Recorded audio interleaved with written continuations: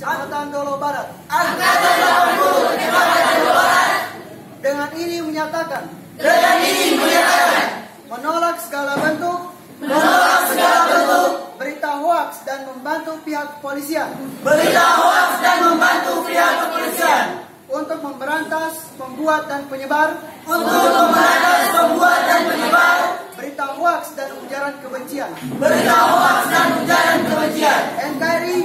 Nkari Islamiyati. Nkari Islamiyati. Nkari Islamiyati.